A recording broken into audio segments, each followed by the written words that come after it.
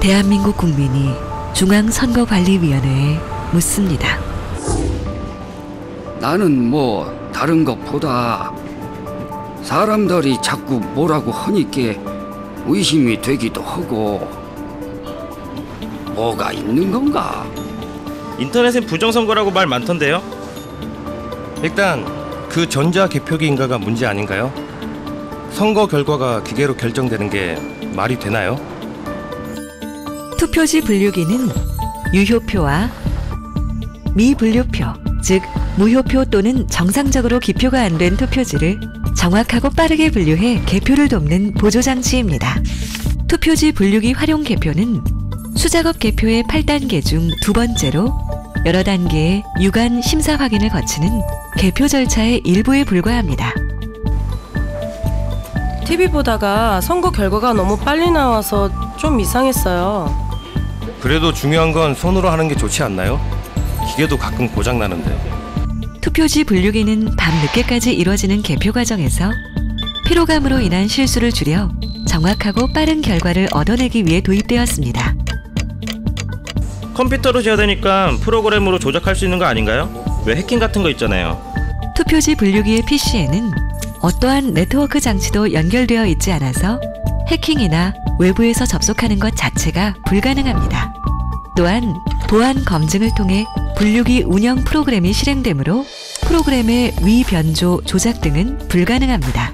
전자 개표기가 특정 후보자 표를 미분류로 처리한 사진을 봤는데 하, 어떻게 된 거죠? 기표가 정확하지 않은 경우 투표지 분류기는 미분류표로 처리합니다. 하지만 미분류된 표들은 무효가 되는 것이 아니라 심사 집계 과정에서 개표 사무원들이 육안으로 확인하여 유무효를 판단하게 됩니다. 투표 못하게 투표소를 갑자기 바꾸는 일도 있다고 들었어요. 투표소는 가급적 이전 선거에 사용된 장소로 정하지만 재개발 등으로 관할구역 변경, 건물주의 불허 등 불가피한 사유가 있는 경우 변경됩니다. 또한 투표소는 각 정당에서 추천한 위원들이 참여하여 결정하기 때문에 특정 정당의 유분리가 개입할 여지가 없습니다. 미리 투표해놓고 투표함을 바꿨다는 말도 있던데요. 투표 종료 이후 투표함은 봉인되어 각 정당의 관계자가 개표소까지 동행하게 됩니다. 그 원래 일이란 것이 눈으로 직접 봐야 하잖여. 가서 보면 확실하겠지. 누구나 개표소에 오셔서 개표 과정을 확인하실 수 있습니다. 궁금하면 누구나 개표 관람증을 받아 모든 과정을 직접 관람하실 수 있습니다. 개표는 선관위위원회 사람들이 하는 거예요. 뭐 잘하고 있는지 감시도 해요? 개표 업무는 선관위 직원 외에 교사, 공무원, 일반 국민이 함께하며 또한 정당 또는 후보자가 추천한 사람이 개표 참관인이 되어 개표의 전 과정을 감시하고 촬영하며 문제 시 현장에서 이의를 제기할 수도 있습니다.